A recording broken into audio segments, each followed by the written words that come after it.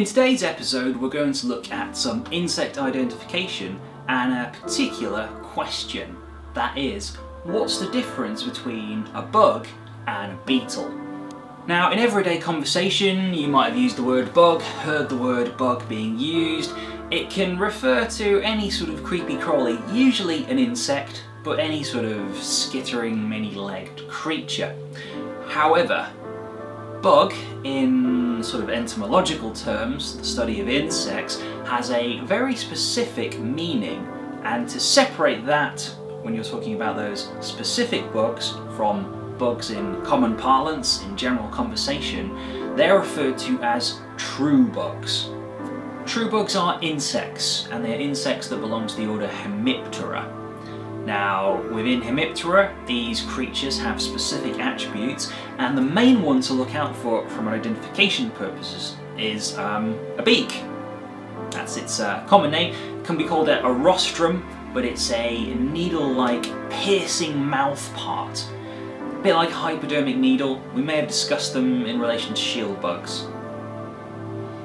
So the rostrum or beak, the piercing mouth part, is used to, unsurprisingly, pierce things and suck out fluids.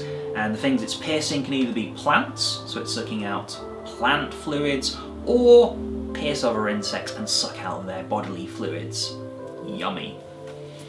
The beak isn't always obvious, it is often folded away underneath the insect, so you will need to look at your specimen from multiple angles to work out what it could be. Due to the nature of these piercing mouth parts, true bugs, like corrupt politicians from the 1960s subside on a liquid diet.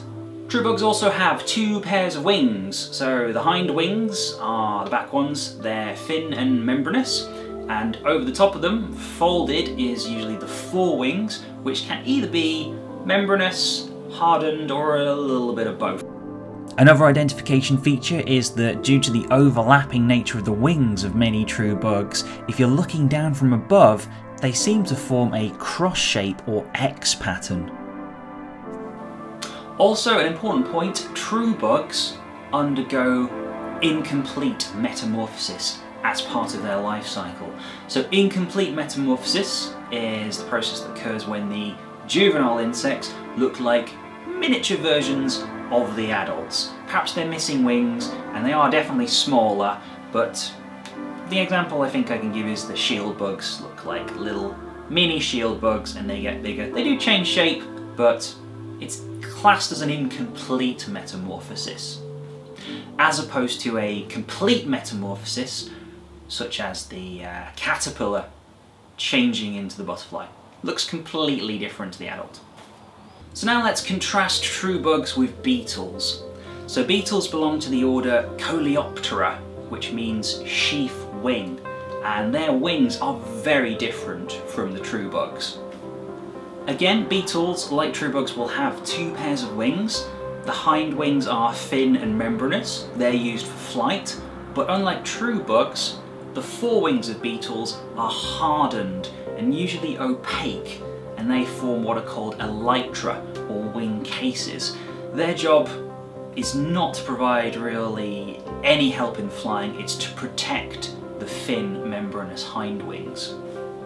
When a beetle isn't in flight, the hind wings are folded away and the elytra, the forewings, meet in a neat line straight down the back. That is your first key identification feature.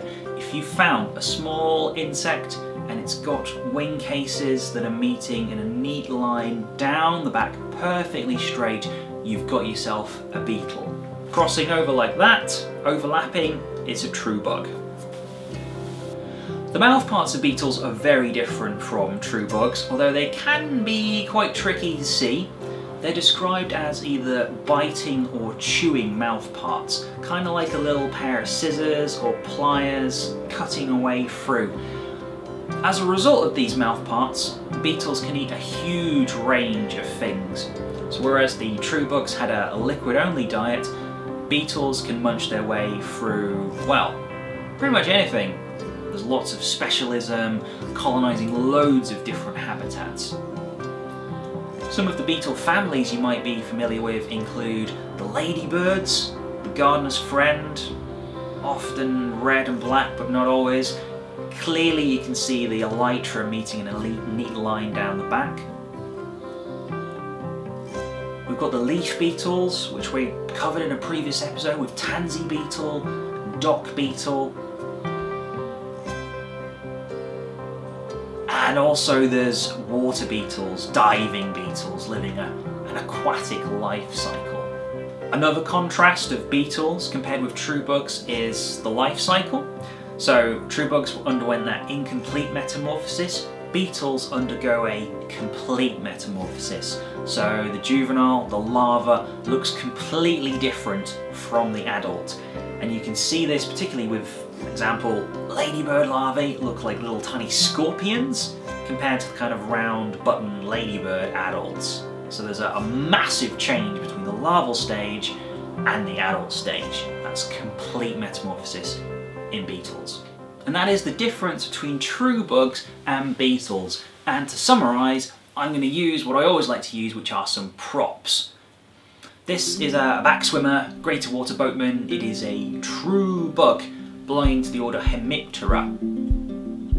It has a piercing mouth part for piercing other insects and sucking out their internal juices. It also have the wings, the forewings, overlapping, forming that cross shape like that, which is a classic sign of true bugs. Compare that with the diving beetle. Don't worry about the lack of legs, let's just imagine they're there and haven't been removed in a horrendous predatory accident. It has biting mouth parts, like a little pair of scissors, and also has the wing cases, the elytra, which are opaque and they're meeting in a neat line straight down the back. And that is classic beetle, Coleoptera. So, go out, have a look, see what you can find. It's not always obvious, and sometimes you've got to look closely at the creatures you encounter. Sometimes you need a hand lens or decent photograph and then zoom in and spot those features. I think that's probably enough insect identification to overload you with for one episode, so thank you very much for watching. And if you're out and about and you see any beetles or bugs, send us some pictures and see if you can spot the different features. We'd love to see them. And until next time, thank you very much for watching and goodbye.